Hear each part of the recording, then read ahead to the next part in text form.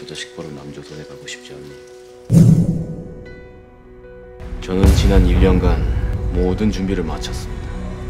네 정말 도강을 한 작성이니? 지금 김장길이 죽었다고 외신들이 난리야. 이런 상황이 무슨 도감입니까? 추출과 주동 문제야!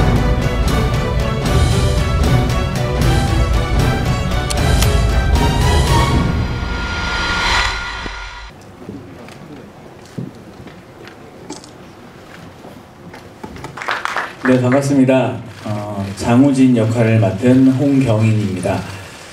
어, 신이 보낸 사람 어떻게 보셨는지 또 앞으로 어떻게 보실지 정말 많이 궁금한데요.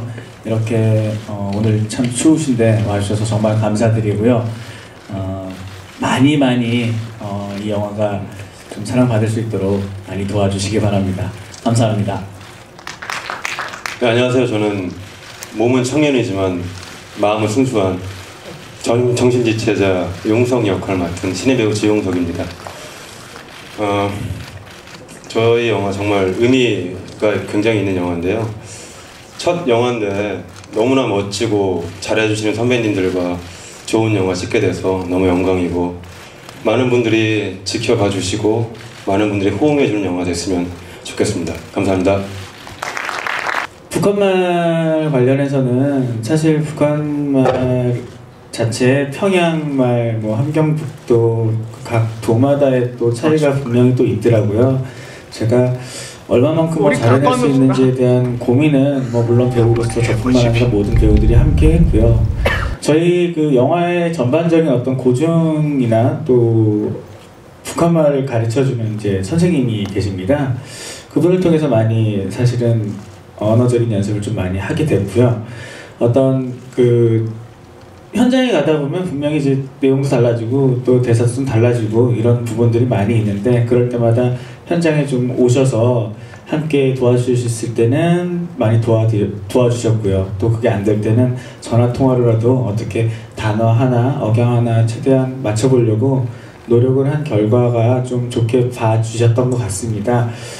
어, 저는 리얼리티라는 부분에 대해서는 사실 북한이든 남한이든 뭐 세계 어느 곳이든 사실 사람은 다 똑같다고 생각을 하거든요. 인간이 갖고 있는 감성적인 부분은 다 똑같다고 생각을 합니다. 어, 북한에도 분명히 그런 감정들을 갖고 있는 사람들의 모임이라고 생각을 하거든요. 어, 제가 맡은 역할, 장호진의 역할은 분명히 다른 사람들보다 좀 더 간절함이 좀 극적으로 더 보였을 수 있는 환경적인 요소가 분명히 있었을 거라고 생각을 하고요. 또 저는 또 그 상황에 맞게 이렇게 또 연기를 했고 어, 그 안에 뭐 감독님께서 잘 어, 연출을 잘 해주셔서 그렇게 보여진 것 같습니다. 감사합니다. 처음에 제가 이 시나리오를 얘기를 들었을 때 굉장히 부끄러웠고 제가 이 사실을 모르고 지내왔다는 게 너무 부끄러웠고 용석이라는 캐릭터가 분명히 감독님이 의도하시는 주제를 담고 있다고 생각을 했었거든요. 그래서 용석이라는 캐릭터가 너무 탐나서 사실 부모님들은 반대하셨어요. 뭐 굳이 네가 멀쩡하게 생겼잖아요.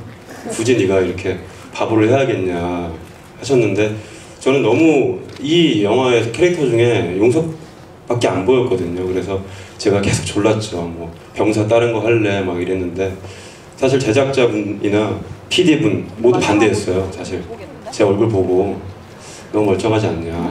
제가 그것 때문에 제가 두 달 정도를 교남 소망의 집이라고요. 화곡동에 소재해 있는 시설에서 이제 그 친구들 같이 생활하면서 이제 막 열심히 탐구했는데 그분들을 처음에는 제가 뭐 눈빛이라든가 뭐 어떤 뭐입 모양, 손 모양, 제스처 같은 거를 위주로 제가 막 연구했어요. 같이 생활하면서 근데 한 한 달 정도 지나다 보니까 제가 크게 잘못 생각하고 있던 게 하나 있더라고요.